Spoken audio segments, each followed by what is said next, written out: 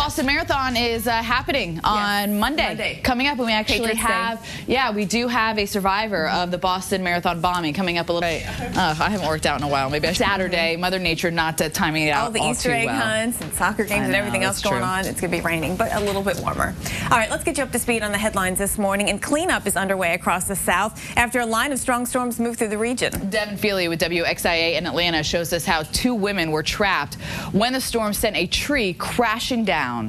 Cold here throughout the Twin Cities. But what are we going to get for the next seven days? Are we saying goodbye to the snow? I mean, we keep promising people uh, that it's going to be gone, Alex. I don't know what to do anymore. You have a warm air mass and a cold air mass hitting against each other. That's when you get severe weather, and that's totally not the case. You know, it's not the clash of air masses necessarily, but there's a lot of factors involved. And one factor's been the cold winter is why we just Yeah. haven't seen uh, too much severe weather. All right, more on how it's feeling more like winter this morning coming up. Much of the East Coast seeing a drop in those temperatures. Morning to you, it's April 16, 2014. Hopefully you got your taxes in. Welcome into Wake Up with Al.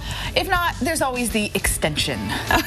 you and I have talked about that. I'm not sure if it actually buys you that much time, but you know what? Winter buying a little extra time this morning. Here, That it is. extending itself. You're waking up to a little bit of snow out there in New York City. Don't be surprised if you look out your window and cold too. All part of our top three. Yeah, and you have to wipe it off, you know, Oh, your car. certainly uh, is going to feel like uh, winter for at least another day or two here. Now, nothing says cold like April snow. It is not uncommon in the upper Midwest, but after the winter that we've seen, it is the last thing residents were hoping for this spring.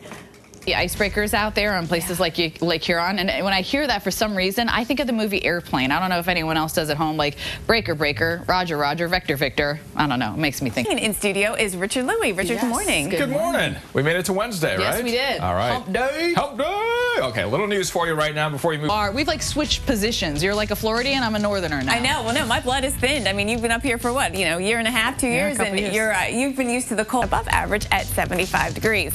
So no more snow, Knoxville, but we can't say the same thing about Minnesota. No, we can't. We want to take you right now into St. Paul. Yesterday, a record of 18 degrees. Today, a fox. A fox. What is a fox? Do you think that looks like a fox? A little bit. You also don't think that you can get an extension when it comes to taxes. you can get an No, I extension. know you can get it. I just don't think it saves you that much time. But it anyway, does. yeah. We got a fox.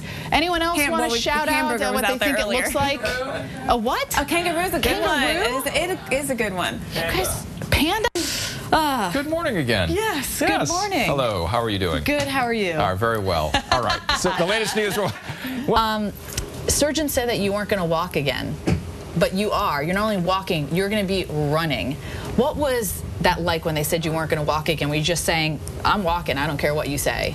Um, to weather expert Tom Niziol to talk more about the 12 to 18 inches of snow that we could see. That's all coming up after your local on the 8th. Give you a C, give you an O, give you an L. I don't know how to make a D. Anyway, cold. Cold is what we have this morning in um, northern Texas, especially in the panhandle. Freeze warnings in effect there. Dallas, we dropped down to 48. Nice clear skies. The rain still with us for the first half of today in South Texas, but we'll get some improving weather in Houston by later today. Probably about the time the kids get off the bus, we should see that rain start to taper off, and the commute home does look better. Now, San Antonio, yesterday we had that flood watch. That's been allowed to expire, so that's not in effect anymore. But we do still have some light rain around for the first couple of hours of today. After lunch, we'll start to see the rain dry up. The clouds stick around. Temperatures get to the upper 60s. All right, let's look at the Midwest. This is where we have rain, we have a little snow, we have windy conditions. Just a raw day out here today. For the next seven days, so we're going to have some cold air coming in. That's the theme of the forecast. We start today with rain moving through the east. We'll see showers out there spreading through New England today. Plus, there is a little snow to talk about in Wisconsin today. Tomorrow, it's northern Maine that really gets it. And you can see more than a foot of snow up there. Yes, for northern Maine that already got more than uh, a foot of snow. Let's take a look at what is going to happen for you Saturday. First round of cold air comes in, sort of sets the stage for what's coming our way next week. And that's when the big cold burst of air comes in. And we'll see signs of that starting on Sunday, but really Monday is when we'll see the cold air spreading through Montana, right through the northern plains, into the upper Midwest. High temperatures will not get out of the 20s for places like Minneapolis. We barely get above the freezing mark in Chicago. And then a chilly rain spreading through the Ohio Valley. It all heads east and south by Wednesday. Back to you guys.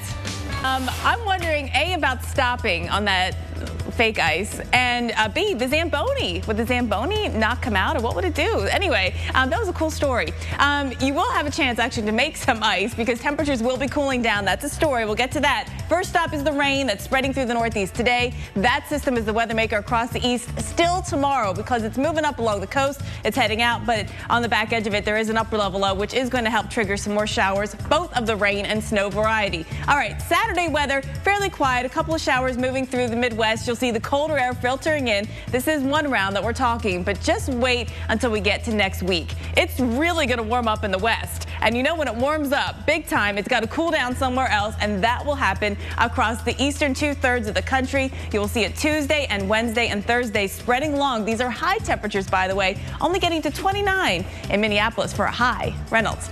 All right, Jen. Thank I got it, guys. I got it. All right, let's take a look here. Um, I love that story, by the way, because the barge just went up for this Halloween, and then it, it sunk like two days later. Anyway, let's go to uh, Texas, where we've gotten some nice rain last couple of days right across northern Texas. Um, now today we're going to be watching South Texas like it did on Friday on Halloween there in Chicago, but still windy, blustery, a few rain showers out there today. Not a great day to be outside, plus a lot of rain through the Ohio Valley off and on right through the day. Guys, back to you. All right. The rain shut off in parts of Texas. We've had a nice drenching rain the past couple of days. Done for us, though, in Dallas and North Texas. Still have a little bit more hanging on for the first half of today.